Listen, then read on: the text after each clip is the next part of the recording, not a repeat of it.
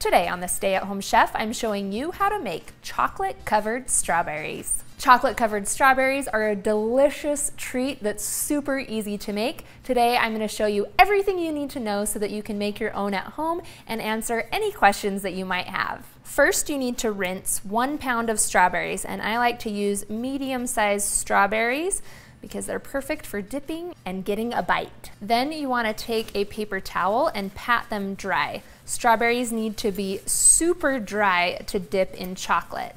Water causes melted chocolate to seize, which is the last thing you want to happen when making chocolate covered strawberries. So make sure they're super dry. Then you'll need some chocolate for melting, and I'm gonna use both dark chocolate and white chocolate. And I like to use these little melting wafers because they melt so nicely. But you can also use chocolate chips. Now there are two great methods for melting chocolate, and I'm gonna show you both. First up is the microwave. Pour about three and a half ounces of chocolate into a microwave safe bowl. Then we're gonna pop this into the microwave for about 30 seconds to start. After 30 seconds, we're gonna remove it from the microwave and give it a quick stir with a rubber spatula.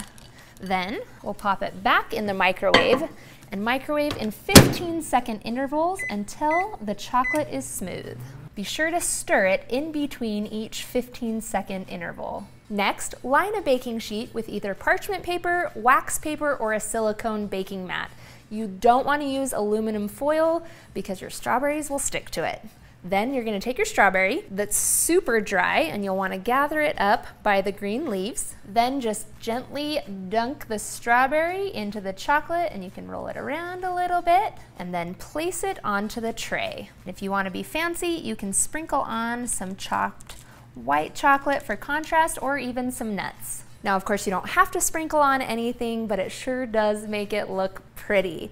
Next, I'll show you how to melt chocolate using the double broiler method. First, you want to bring a small saucepan of water to a simmer, and you want to use a saucepan that you can have a bowl that sits on top like so. Now, you want to make sure that the bottom of the bowl doesn't touch the water inside the saucepan, so don't overfill your saucepan. Then you're going to place the bowl on top and allow the steam from the simmering water to melt the chocolate in the bowl. And just like the dark chocolate, you'll dip your strawberry in. Then I'm gonna sprinkle on some of the chopped dark chocolate as well to make it pretty. Once all of your strawberries have been dipped, you'll wanna take your tray and slide it into the fridge.